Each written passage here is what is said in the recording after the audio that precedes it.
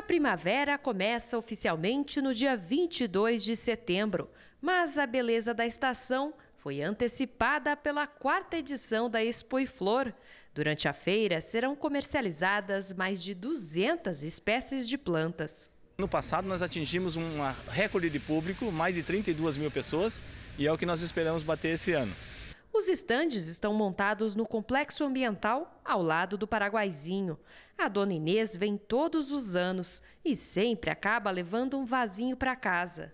Sempre levo, assim, flores pequenas, né? Porque eu moro em apartamento. Não posso levar quantidade, mas sempre levo, né? Uma recordação de todos os anos. Os preços são um atrativo à parte. Pegônias a R$ 8,00, gérberas por 12 e tulipas por 24. As orquídeas também chamam a atenção. Neste ano, a novidade é a miniatura que veio da Índia e uma orquídea dálmata. Esse ano tem uma micro-orquídea é, importada da Índia. Temos também é, é, a Phalaenopsis dálmata, que é uma novidade que surgiu agora, né? Então tem muita, muita novidade.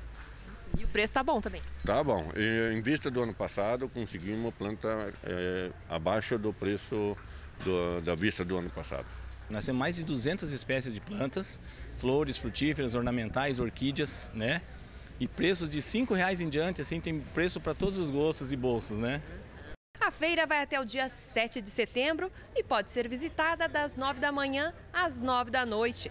Além de deixar a casa e o jardim mais bonitos, o melhor da Expo e Flor é que toda a renda arrecadada com a venda das flores é destinada a projetos de entidades assistenciais. Essa é a principal motivação do Rotary, ajudar as entidades.